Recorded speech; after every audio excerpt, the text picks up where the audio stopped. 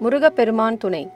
உலக ஞானத் தலைவன் முருகப்பெருமானே ஓலைச் சுவடிகள் மூலம் துறையூர் ஓங்காரக்குடிலாசானுக்கு அருளிய அருள்வாக்கு.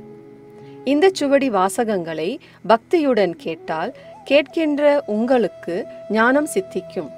உங்களது துன்பம் எல்லாம் தீரும். இதை உங்களுக்கு தருகின்ற நாங்களும் புண்ணியம் பெறுவோம். கேட்ட நீங்களும் புண்ணியம் பெறலாம்.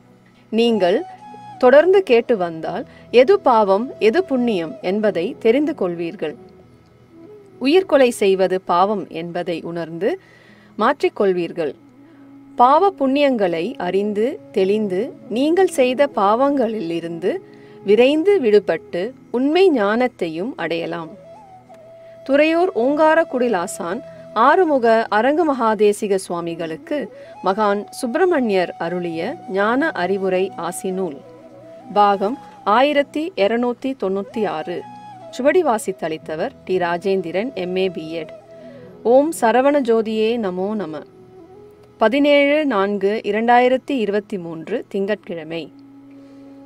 ஞானபலம் கொண்ட அரங்கனே ஞானிகள் துணை கொண்ட தேசிகனே வானவர்கள் போற்றுகின்ற குருராஜனே வள்ளலே வாழுகின்ற மாதவராஜனே அரசனே அரங்கனே உந்தனுக்கு அருளுவேன் சுப்பிரமணியர் யானும் இனிதே.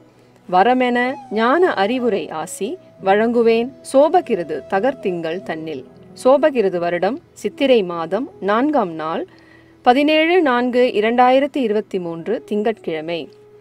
தன்னிலே அரங்கனே கலியின் சிறந்த ஞானி தவதர்ம பலம் கொண்ட மகா யோகி.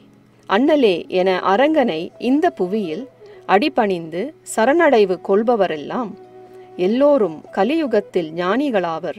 எல்லோரும் இந்த உலக மாற்ற சேவை தன்னில் வல்லமைப்பட பங்கு கொண்டு இனிதே வரம் பெற்று அரங்கனால் அழியாமை பெறுவர்.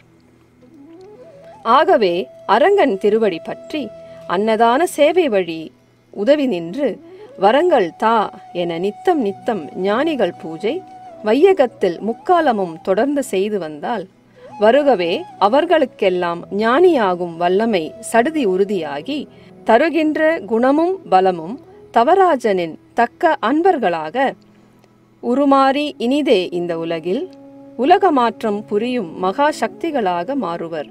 ஞான அறிவுரை ஆசிமுற்றே சுபம்.